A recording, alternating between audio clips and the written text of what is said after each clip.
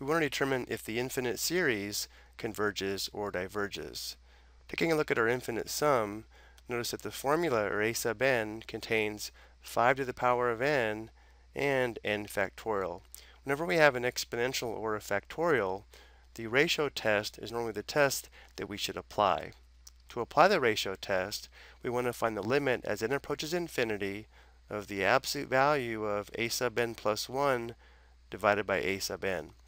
Then based upon the value of this limit, or L, we can determine if the series converges, diverges, or if the test fails. So for a review, if L is less than 1, then the series converges.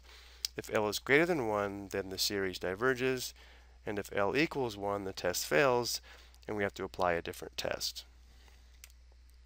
And notice that since n starts at 1 and increases to positive infinity, this will always be positive, and therefore we can ignore the absolute value. Let's go and set up our limit. We'll have the limit as n approaches infinity of a sub n plus 1, so we'll substitute n plus 1 for n. So we'll have n plus 1 times 5 to the power of n plus 1 divided by n plus 1 factorial. So there's a sub n plus 1 divided by a sub n, which is just n times 5 to the n divided by n factorial.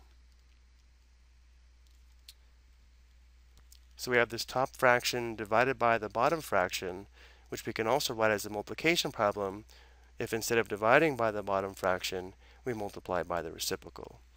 So this is equal to the limit as n approaches infinity of the top fraction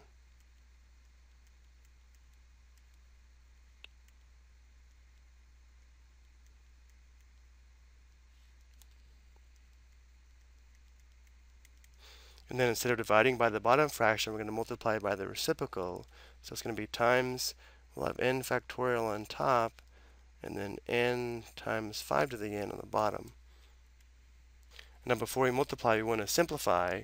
Let's first look at 5 to the power of n plus 1 and 5 to the power of n. 5 to the power of n plus 1 has one more factor of 5 than 5 to the n. So this simplifies to 1. This simplifies to 1 factor of 5. now let's expand n plus 1 factorial. So we can write n plus 1 factorial. The first factor would be n plus 1 the next factor would be just n, since n plus 1 minus 1 is equal to n. So the remaining factors would just be n factorial. Notice in this form, n factorial over n factorial simplifies to 1, and now we can find this product. This is equal to the limit as n approaches infinity. Top we just have 5 times n plus 1. That's going to be 5n plus 5.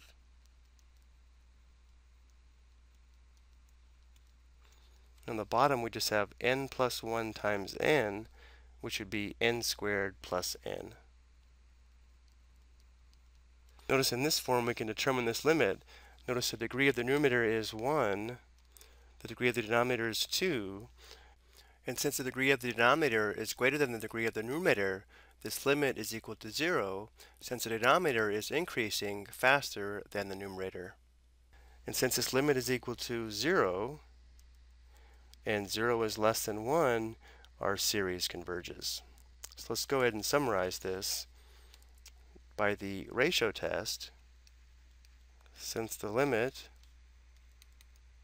as n approaches infinity of the absolute value of a sub n plus 1 divided by a sub n is equal to 0, which is less than 1,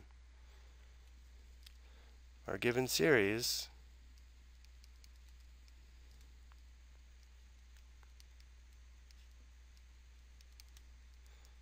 converges.